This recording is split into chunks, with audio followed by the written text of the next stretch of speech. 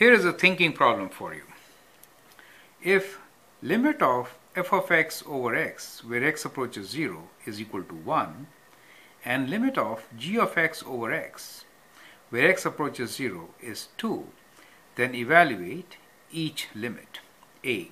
Limit of g of x as x approaches 0 and B is limit of f of x divided by g of x as x approaches 0.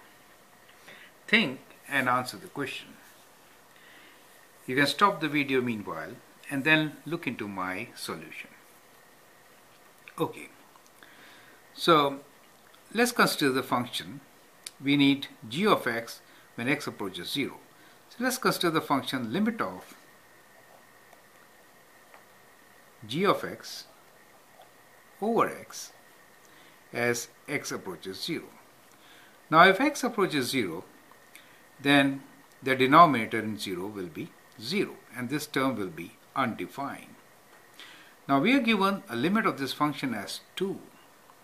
Limit of this function as 2 is possible only if, only if there is a factor of x in g of x also. Correct? That means g of x is x times h of x. Only then this limit of 2 is possible, right? So therefore, we can say that g of x has x in it.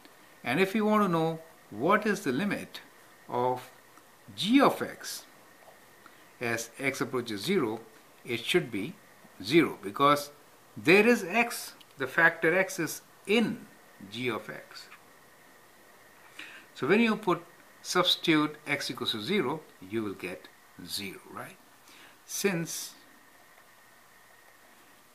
g of x can be written as x times some other function, let it be h of x. Do you understand? So that is why.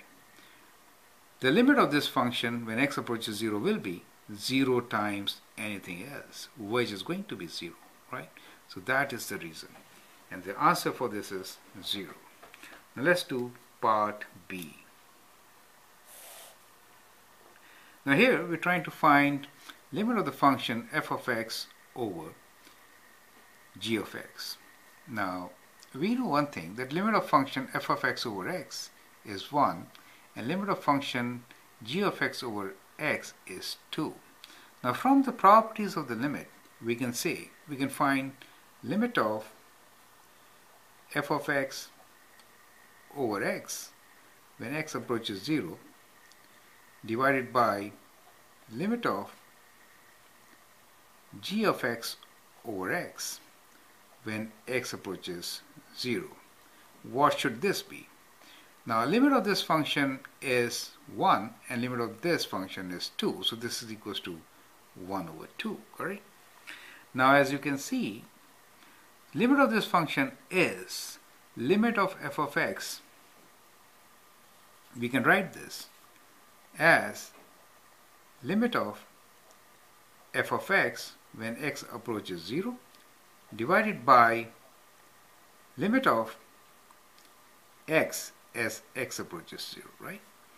And the denominator, we can write this as limit of g of x when x approaches 0 divided by limit of x when x approaches 0. Now clearly from here we can divide these two, they factor out and we are left with limit of f of x over limit of g of x which should be equal to half and therefore our answer for this is half, correct? So that is how we are going to solve these questions. Thank you.